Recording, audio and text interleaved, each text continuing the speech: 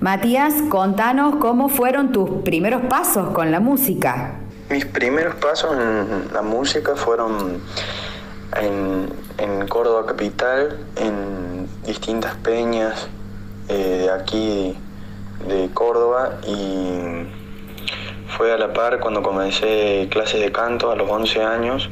Y bueno, justo también todo se fue dando de la mano con la guitarra, con el bombo.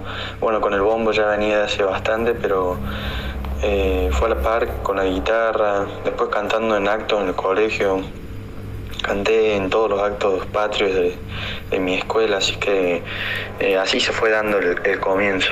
En la actualidad estás estudiando música, sos autor, sos compositor también. En la actualidad estoy cursando el profesorado de educación musical para recibirme de profe y soy autor y compositor, así es.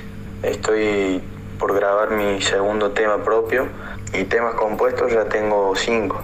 Alfredo, que es eh, tu papá, ¿te da algún consejo puntual, algún consejo particular?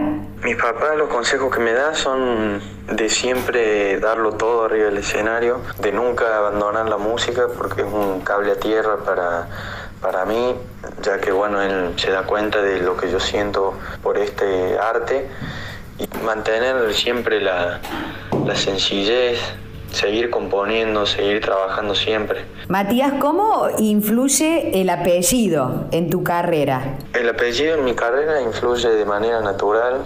Recibo mucho cariño de, mucha gente por lo que han hecho eh, los changos, mi papá, mis tíos, y eso es un, regalo inmenso que, que nos han dejado ellos por lo que han hecho de manera artística, de manera musical, así que, eh, pero influye así eh, de manera muy, muy sencilla. Soy, yo me siento una persona más en, la música y en el mundo, eh, no, no me siento ni más ni menos.